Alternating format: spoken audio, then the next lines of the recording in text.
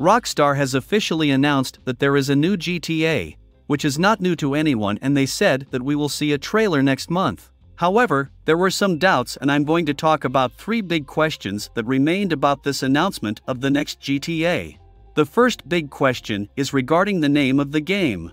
In the statement, Rockstar said that in celebration of the developer's 25th anniversary, they will release the trailer for the next Grand Theft Auto. This means we still don't know if the next GTA will be called GTA 6 or if it will be called something else.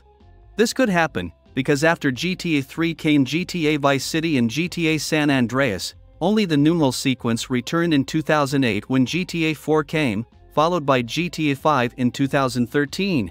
It seems very obvious that the next GTA will be called GTA 6, but we know Rockstar and you can expect anything from it. The only certainty is that it will be called GTA, regardless of whether it will be called 6, 7, or even Vice City 2. The second question of the game is where the trailer will be shown. According to Rockstar, the trailer will be shown in early December. And precisely at the beginning of December, we will have the Game Awards, which will take place on the 6th, that is, GTA 6 could appear on the 6th, obviously, it would be the last announcement of the event. But then a problem arises. Geoff Keighley must really want to make this announcement, which would take Game Awards to an unimaginable level, but it also has a downside to it. If GTA is announced at the Game Awards, no one will talk about the Game Awards. The event will be totally eclipsed. The next day we will forget who won the Game of the Year, no one will talk about the category winners, and, most complicated of all, no one will talk about the other announcements. If I were to make an announcement at the Game Awards and I found out that there would be a GTA 6 announcement at this event, I wouldn't make the announcement, because I would know that they would forget about my announcement, no matter how big it was. It wouldn't affect Rockstar that much, but it would miss an incredible opportunity to break a record.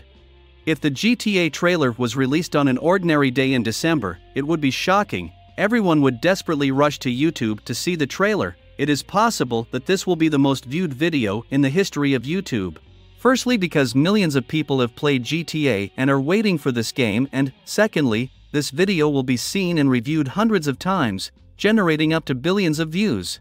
The rockstar could break a record, which would perhaps be smaller if she presented at the Game Awards.